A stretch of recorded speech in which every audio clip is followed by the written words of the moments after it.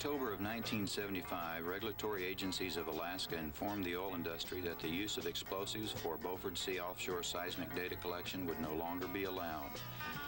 In order to overcome the environmental restrictions and seasonal operational constraints, GSI conceived, designed, and constructed a unique seismic system for collecting data through the ice on the Beaufort Sea.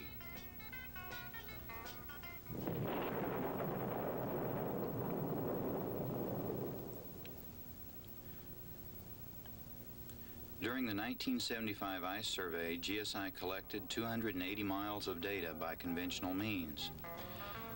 Because of the speed and operational efficiency of the new system, GSI was able to collect 550 miles of data in conformity with the new environmental restrictions.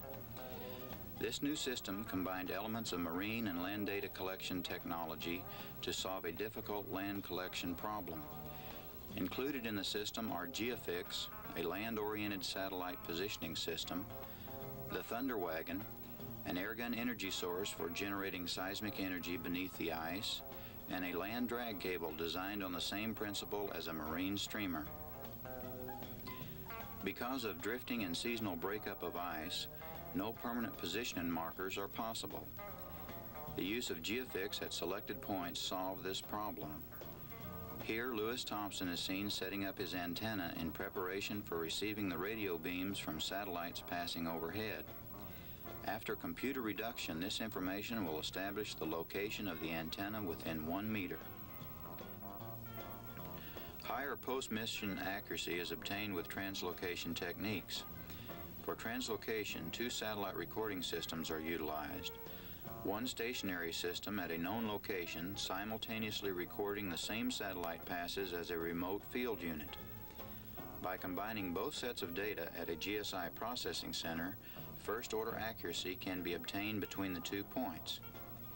Approximately two geofix locations were established each day. The cleared seismic trails made traveling across the snow-covered ice much easier and faster. A conventional seismic Mayhew 1000 drill was used to drill four 14-inch diameter holes through the ice at each shot point location. The four holes were spaced seven feet apart, allowing the air guns to be placed into the water. In comparison to drilling shot holes on land or into the ocean floor, the ice drilling operation was accomplished swiftly and with minimal drill personnel. In conjunction with the Mayhew 1000, auger drills were used to check the varying ice thicknesses to ensure safety of the personnel and equipment. The precision and accurate aligning of the air wagon over the pre-drilled holes enabled the airgun mechanic of each individually operated string to easily and accurately position them for lowering into the icy 28 degree water. In preparing to take a shot, all units from the drill to the thunder wagon to the recording truck itself are closely coordinated in simultaneous efforts directed towards accomplishing the central goal of the entire crew to record high-quality seismic data. An Arctic storm in February caused production setbacks and complete operation shutdown. But the veteran crew members' determination and superb team effort to work efficiently in the hostile Arctic environment prevailed, and the many years of Arctic experience of individual crew members was enough to overcome the potential hazards of the Arctic The techniques and elements of marine data collection technology coupled with land data collection concepts proved to be an efficient and economical means of obtaining large amounts of high-quality seismic data in a short operational period. The air guns are lowered into the water from their heated storage area by pressing a single control button. Eight consecutive pops are taken at each shot point location.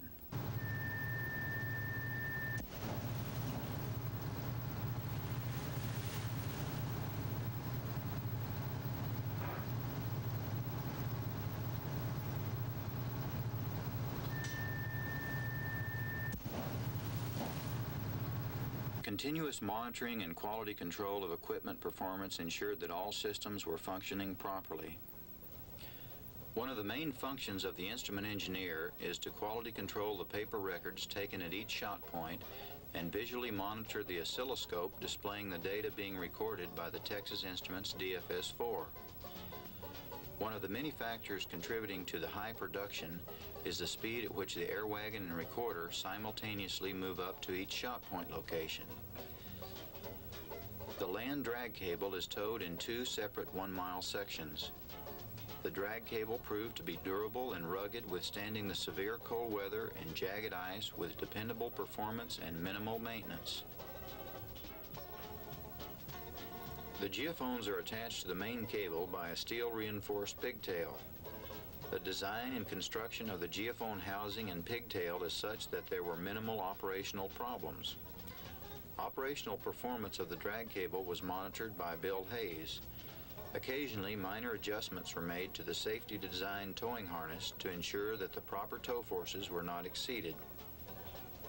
The recording vehicle easily tows the one mile section of cable and a similar conventional cable truck tows the second half. The base camp moves on an average of 8 to 20 miles per day. The total distance moved depends on the production of the recording crew. The number 2 Thunder Wagon is ready to go into operation in the event of a major malfunction on Wagon 1. After setting up camp for the night and the recording crew has returned to camp, Party Manager Wilf Reed prepares the daily reports and field seismic data for shipment to the processing center. Ordering supplies and air support through GSI's Expediter and Deadhorse was accomplished with a single sideband radio.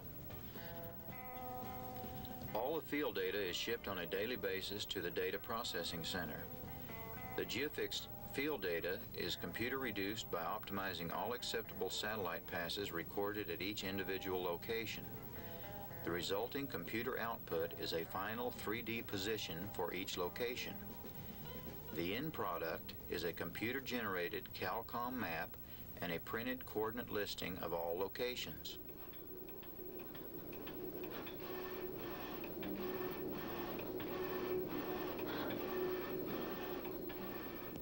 After analyzing all the information, a final Mylar shot point map is produced by the drafting department.